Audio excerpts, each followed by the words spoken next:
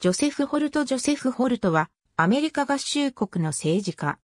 1859年から1860年まで、第21代アメリカ合衆国郵政長官。1860年から1861年まで、第25代アメリカ合衆国陸軍長官。1862年から1865年まで、第6代アメリカ合衆国陸軍法務総監を務めた。1807年1月6日、ホルトはケンタッキー州ブレッキンリッジ郡において、ジョン・ホルトとエレノア・スティーブンズの息子として誕生した。ホルトはケンタッキー州バーズタウンの聖ジョセフ大学と同州ダンビルのセンター大学で学んだ。ホルトは1828年にケンタッキー州エリザベスタウンに移住し、弁護士業を開業した。1832年、ホルトはケンタッキー州ルイビルに移り、メアリー・ハリソンと結婚した。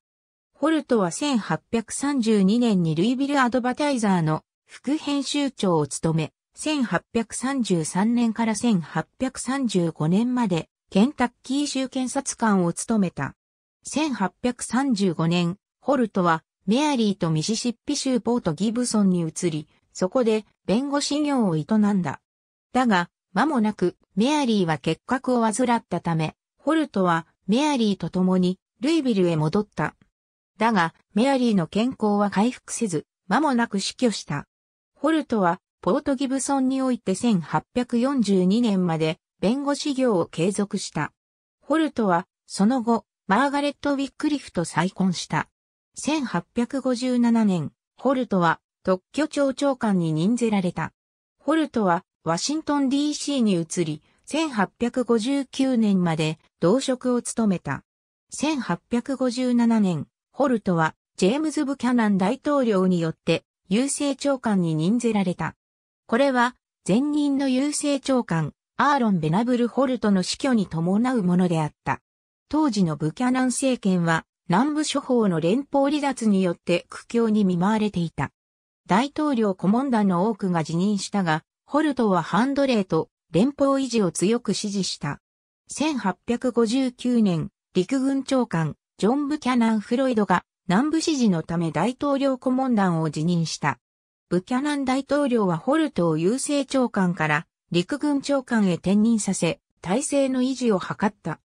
ホルトは南北戦争における初期の指導者として、ブキャナン大統領の任期満了まで陸軍長官を務めた。ホルトは陸軍長官退任後、合衆国陸軍に大佐として加わった。1862年、ホルトはエイブラハム・リンカーン大統領により陸軍法務総監に任ぜられた。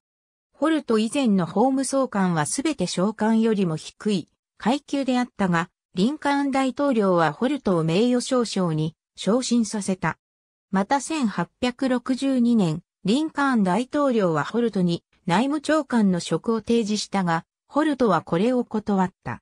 リンカーン大統領は1864年にも、ホルトに司法長官の職を提示したが、ホルトはこれも断った。左からジョン・ビンガム、ジョセフ・ホルト、ヘンリー・バーネット1865年4月14日、フォード劇場において、リンカーン大統領がアメリカ連合国の信奉者、ジョン・ウィルクスブースに銃撃され、翌4月15日朝に死亡した。国務長官、ウィリアム・スワードと国務次官補、フレデリック・スワードも、またブースの共犯者、ルイス・パウエルによって重傷を負わされた。ホルトは連合国大統領ジェファーソン・デイビスと、その支持者5人を容疑者として逮捕するため、新大統領、アンドリュー・ジャクソンが逮捕命令書に署名を行う準備を整えた。ブースは1865年4月26日に農園の小屋に隠れているところを発見され、ボストン・コーベット軍曹によって撃たれ、その傷が元になって死んだ。ホルトは陸軍法務総監として合衆国会員議員ジョン・ビンガム及び名誉准将ヘンリー・ローレンス・バーネットの二人を法務副総監に据えた。そして、ホルトはリンカーン大統領暗殺に関与した被告人に対する裁判で裁判長を務めた。被告人はジョージ・アツェロット、デイビッド・ヘロルド、ルイス・パウエル、サミュエル・アーノルド、マイケル・オローリン、エドマン・スパングラー、サミュエル・マット、メアリー・サラットの8人であった。裁判は1865年5月10日に改定した。ホルトら3人の裁判官は、この裁判において、陪審員からの評決を待つためにおよそ2ヶ月を費やした。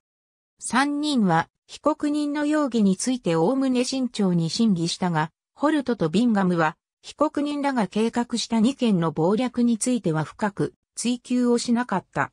1件はリンカーン大統領を誘拐し、合衆国が拘束した連合国の囚人と交換させること。もう1件はリンカーン大統領、ジョンソン副大統領、スワード国務長官を暗殺し、政府に混乱を引き起こすことであった。これらの謀略に深く立ち入らないことは、ブースから日記を入手した事実を隠蔽しておきたかった検察当局にとっては重要なことであった。だが意外なことに、弁護側は、ブーンの日記の提示を要求しなかった。そのため日記の存在が明らかになったのは、しばらく経過した後であった。その後ホルトは証拠を隠匿したとして告訴されたが、明らかな証拠は上がらなかった。1865年6月29日、ホルトは8人の被告人に対して大統領暗殺に関する有罪判決を下した。アーノルド、オローリン、マトの3人に対しては、終身刑が、スパングラーに対しては6年の懲役刑が言い渡され、アッツアーロット、ヘロルド、パウエル、サラットの4人に対しては、公死刑が言い渡された。4人の公死刑は1865年7月7日に執行された。またオローリンは1867年に刑務所内で死亡した。アーノルド、スパングラー、マットの3人は1869年にアンドリュー・ジョンソン大統領から恩赦を受け、釈放された。ホルトの公的な人物像は、この裁判によって大きく悪化した。後世の歴史家の大部分は、この裁判によって、ホルトの政治生命が終了したと考えた。1866年、ホルトは、売国者による不正な中傷、偽証者及び偽証教唆者による自白、及びジェファーソン・デイビスの利益行動から導かれる、法務総監、ホルトの正当性と題した論説を発表し、事件に関する混乱を収集しようとした。ホルトは1875年12月1日に辞任するまで法務総監を続けた。ホルトは静かに公職を退き、1894年8月1日にワシントン DC で死去した。ホルトの遺体は、ケンタッキー州、スティーブンズポートにある、ホルト一族の墓地に埋葬された。ありがとうございます。